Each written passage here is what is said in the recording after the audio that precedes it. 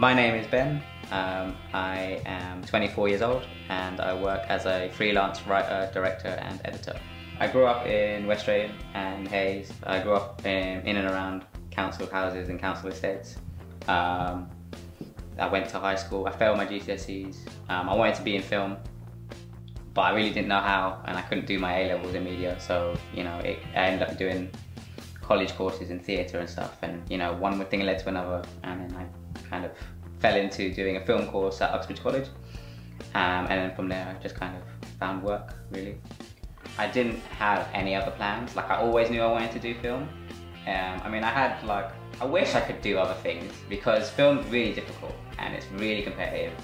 And you know, it, I would like like an easier type of work, but none of, none of it really like makes me happy. So, you know, I have to kind of go for it, and I, I love it. Even though like it can get really stressful or the hours can be really long, you know, I love every second of it and I wouldn't change it. Um, but no, I couldn't say that I want to do anything else in my life. So I, like, when you're a kid, you know, you have those really big dreams of yours. You know, mine was you know, being a director and you know, I went into film thinking, yeah, that's what I want to do. And then I got into it and I realized how much work it is. Um, but the passion never really died for me. I realized very quickly that, you know, to be a good director, you need to have good knowledge of all the different aspects of filmmaking, not just, you know, what's going on in front of the camera or what's going on behind it as well. And so, you know, I experimented with everything. And, you know, some things I was better at than others.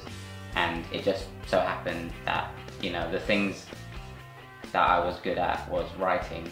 I really enjoyed creative writing. When I first started to learn editing in my first year, I hated it. Like I was awful at it. And my teacher, um, she would constantly tell me that, you know, just don't give up, keep trying, da, da, da, and I was like, no, seriously, I will never get it, and I and I used to just have like arguments with her all the time, and you know, it got to the end of the unit, and she was like, you did really well, and you've done a really good job, and I was like, no way, that's really weird. I think living London definitely impacted my career choices 100% because I live so close to so many amazing film studios. You know, I have West London Film Studios, which is my closest one, um, and the place where I work. The film industry, especially around my area, is really big. And yeah, I can't, like, it, it, it's a coincidence because obviously I am passionate about film, but I'm so glad and I feel really grateful that I am close.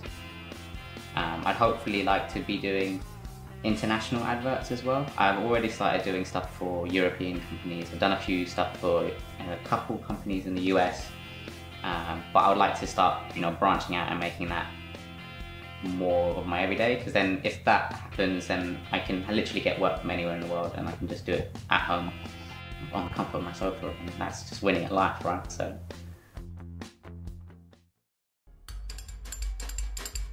Click the videos to watch more Londoners and don't forget to subscribe.